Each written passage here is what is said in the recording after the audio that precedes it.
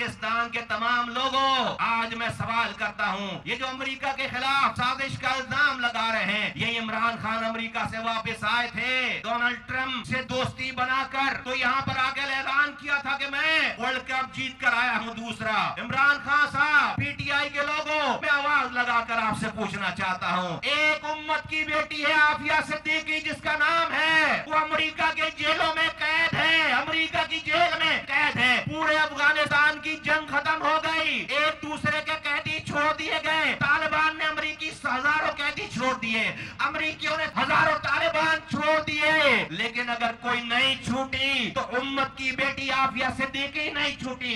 मैं पूछता हूँ, इमरान खान साहब, आप इतने दिलेर, इतने बाकिरदार बनते हैं, इतने अपराइट बनते हैं, थी आप पे हिम्मत? आप अमेरिका से वापसी पे आफिया सिद्दीकी को साथ लेकर आते। आपने एक दफ़ा डोनाल्ड ट्रंप से बात भी की उसके लिए मेरी इस उम्मत की बेटी को पूरी जंग खत्म हो गई है, रिहा करो।